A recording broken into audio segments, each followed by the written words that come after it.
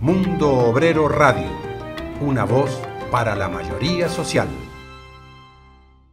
Mundo Obrero Radio se ha desplazado a Marsella para participar en dos importantes eventos. El primero es el segundo encuentro de Europa, América Latina y Caribe en el que se han valorado las distintas experiencias de tanto el Foro de Sao Paulo como el Foro Social Europeo. La segunda, el Foro de Marsella en sus jornadas constitutivas del día 10 y 11 en las que estamos y en las que se intenta poner en marcha un espacio unitario, un espacio de confluencia, un espacio de diálogo de las distintas fuerzas políticas políticas y sociales y sindicales europeas en el marco de buscar una alternativa al neoliberalismo y una confrontación clara con el ascenso de las ideas de ultraderecha y fascistas. En estos días realizaremos determinadas entrevistas, distintas entrevistas a otros actores, a actores de personas que en representación de las distintas fuerzas políticas y sociales en España y en Europa están participando en el foro. Nos encontramos con Maite Mola, vicepresidenta del PI y miembro de la permanente del Partido Comunista de España. Estamos en las jornadas, podemos decir que iniciales, del Foro de Marsella. Un foro que se vive con expectación y esperanza según las eh, intervenciones que hemos visto en el día de ayer. ¿Qué objetivo se marca al inicio de este foro y con qué expectativas? Bueno, el objetivo fundamental que tenemos con este foro sería medir un poco el grado que tenemos de aproximación entre las diferentes familias políticas que existen actualmente en, Europa, digamos del lado del progresismo, del, del ecologismo y de la izquierda. Ver qué temas comunes tenemos, qué punto de unidad, para ver si es posible construir algo estable. Este sería el primer objetivo del foro. También hay otra conceptos que se barajaron ayer, como que era confluencia de la izquierda, unidad, alianza, eh, que se han ido escuchando estos días con bastante fuerza y contundencia. ¿Se puede decir que la unidad es ya un frente antineoliberal? Bueno, yo creo que no. Yo creo que todavía no hemos llegado, desgraciadamente, a un eh, avance tan grande. Yo creo que lo que sí que hemos llegado es a, darnos cuenta, con cierta sorpresa incluso, eh, que la izquierda digamos, la parte de la socialdemocracia no ligada al neoliberalismo y los verdes, de, digamos, más progresistas, resulta que parece que tenemos muchos más puntos comunes de unidad de los que creíamos. Y sobre todo, en un debate abierto, sin ningún tipo de, de ideas preconcebidas, nos hemos dado cuenta de que todos íbamos más o menos repitiendo las mismas, las mismas respuestas. Eh, se ha hablado de objetivos y propuestas en este foro, en algunas intervenciones ya se han ido realizando algunas cuestiones. Eh, ¿Cómo enmarcarías eh, o cómo ves los primeros pasos de este espacio? Bueno, yo creo que los primeros pasos son mucho más positivos de lo que nosotros pensábamos inicialmente. tenemos una idea preconcebida y además mm, real de que en las diferentes familias europeas de la parte, digamos, progresistas, de izquierdas, etcétera, hay mucho sectarismo entre nosotros. ¿eh? No hablo de una, de, una parte solo, sino de unos hacia los otros. Y lo que realmente parece que nos estamos dando cuenta de que es un sectarismo también producto de la falta de diálogo, de la falta de espacios comunes. O sea que parece que hablamos en el Estado español unos con otros, en, en Francia unos con otros, perdón, en Grecia unos con otros, pero que hasta ahora no hemos sido capaces de encontrar un espacio europeo común porque hemos pensado que era difícil, pero luego resulta que no es para tanto. Disculpadme. Tranquila. Eh, hay una pregunta que se suscita tras todos los debates y es, ¿hay alternativas al neoliberalismo? ¿Hay alternativas al modo de vida que nos quiere imponer el capitalismo?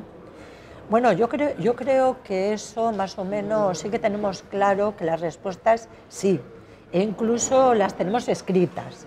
Eh, cuando, eh, digamos, en este caso hay elecciones europeas y los verdes se presentan, eh, una parte de la socialdemocracia, socialdemócrata real, y luego todo el espectro de la izquierda, damos alternativas.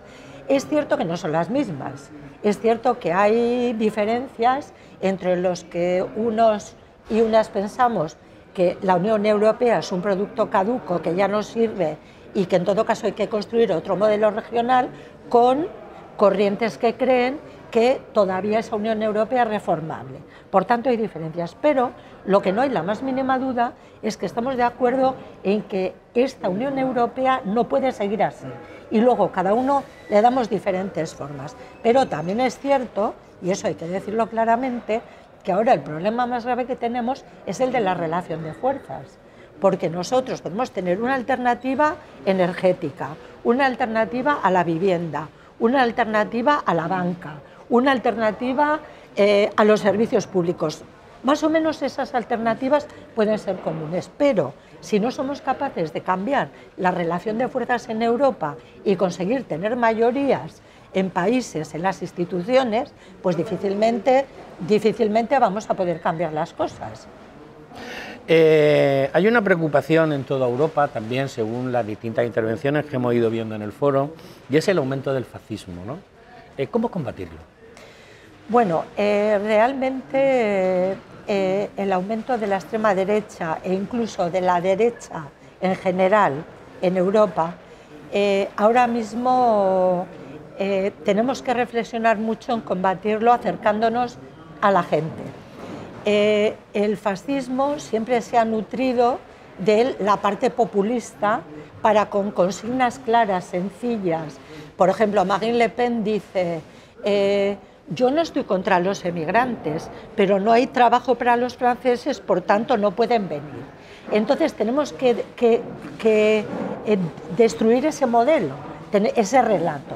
El relato que tenemos nosotros que dar desde la izquierda es ¿Por qué hay emigrantes? Estoy poniendo un ejemplo.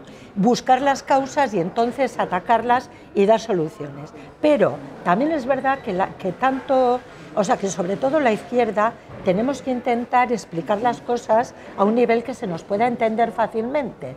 Tenemos que volver a ser, eh, digamos, eh, militantes tenemos que ir a repartir por los barrios, tenemos que ir a hablar con la gente a las casas, tenemos que volver al concepto de la militancia que teníamos hace, no tantos años, o sea, hace unos pocos años ese concepto de militancia, porque nosotros también podemos explicar de una manera sencilla a la gente por qué hay emigrantes, hay guerras, la gente se va, los están matando, pero en vez de eso estamos haciendo grandes discursos, grandes líneas, en vez de dar respuestas concretas. Y si me permites, también creo que tenemos de una manera muy precisa que hacer una autocrítica porque es muy necesario y es fundamental eh, trabajar más con los movimientos sociales y trabajar más con los sindicatos. Y yo creo que este foro también es útil para eso, porque resulta que ahora está hablando en este momento un sindicalista belga, es el que está introduciendo el panel.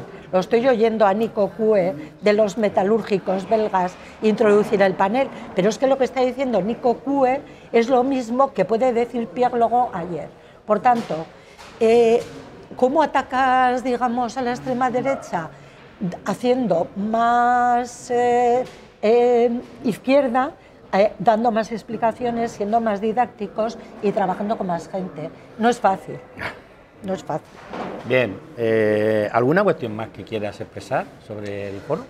Bueno, para mí la cuestión más importante de este foro sería que realmente cuando salgamos de aquí esta tarde tengamos un grupo de trabajo que va a preparar el siguiente foro y un grupo de trabajo que ya con una fecha de reunión, que de tal manera que el próximo año este foro primero que hemos hecho sin saber muy bien qué iba a pasar, realmente todas y todos los que hemos venido queramos volver a venir y no solo esos, sino aquellos y aquellas que no han venido porque es verdad que tenemos unas 80 eh, organizaciones entre partidos, movimientos, sindicatos aquí de toda, de toda Europa, pero eh, tenemos que aspirar a más.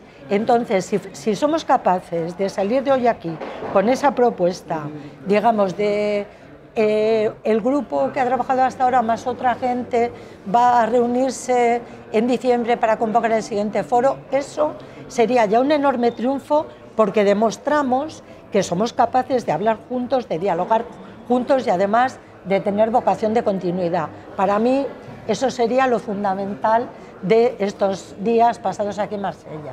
Muchas gracias, Maite. Muchas gracias a ti.